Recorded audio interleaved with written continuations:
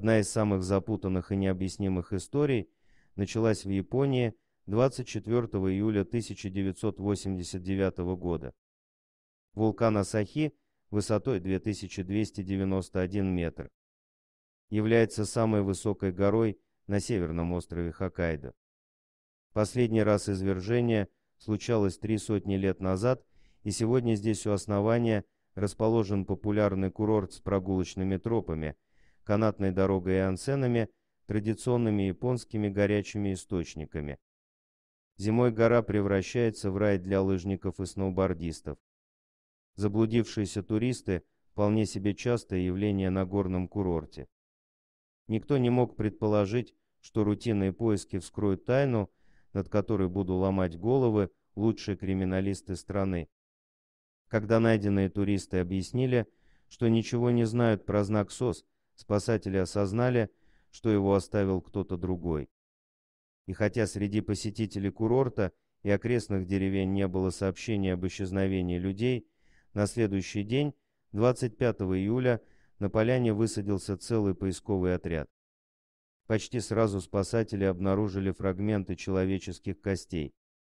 Полностью обглоданные, местами сломанные, их находили на достаточно большом расстоянии друг от друга – в радиусе почти 2 километра. Постарались лисы, растащившие останки неизвестного человека.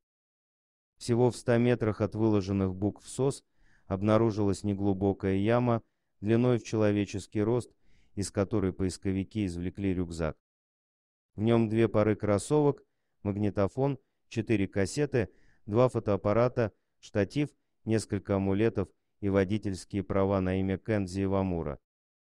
Данный человек числился пропавшим без вести уже пять лет. 10 июля 1984 года 25-летний мужчина вышел из гостевого домика с рюкзаком, планируя пройтись по одной из туристических троп горы Асахи. В номере оставил одежду и другие вещи. Тогда его искали несколько недель, но без толку. Казалось, что тайна исчезновения человека раскрыта но тогда бы эта история не была странной и загадочной.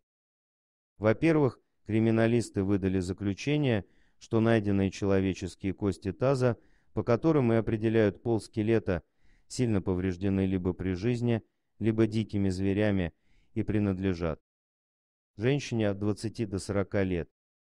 Во-вторых, на одной из найденных кассет обнаружилась запись длиной в 2 минуты 17 секунд. На ней неизвестный мужской голос буквально кричал, но не быстро, а медленно и размеренно, специально выговаривая каждое слово. Вот примерный перевод записанной речи. СОС. Спасите меня. Я не могу двигаться по горе. СОС. Спасите меня. На этом месте я впервые увидел вертолет.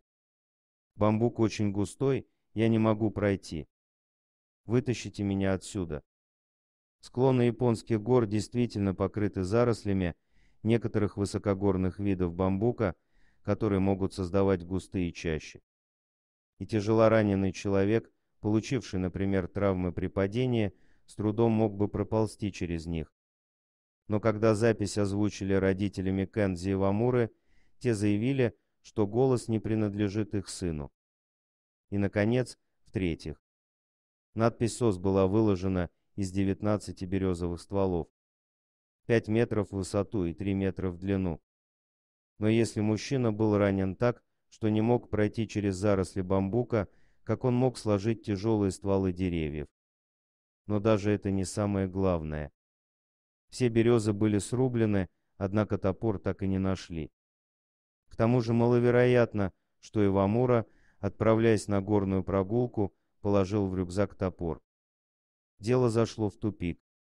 Со временем в нем стали появляться новые подробности, которые еще более запутывали следствие.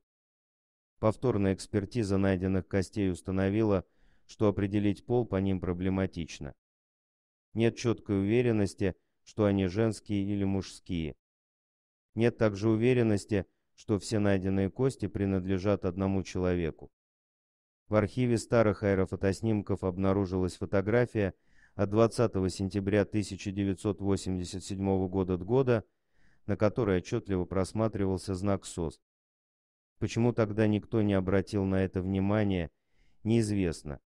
Дорогие друзья, если вам понравилось видео, поставьте лайк, а также подписывайтесь на канал, где найдете еще много интересного.